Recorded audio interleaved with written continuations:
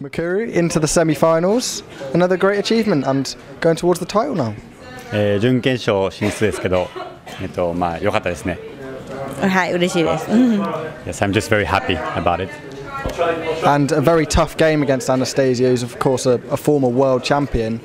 That must be tough at the, a quarter-final stage to play such a, a quality opponent.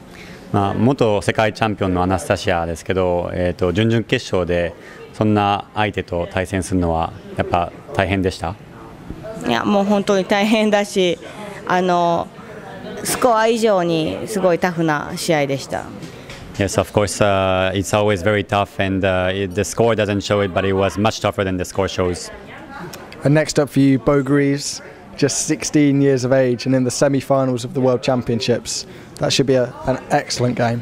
まあ、次の試合は、えーとまあ、16歳のボー・グリーブズ、えー準決勝で当たりますけど、まあ、それは素晴らしいゲームになるでしょう。もちろんボーがすごいのは知ってるので、あの全力で頑張りたいと思います。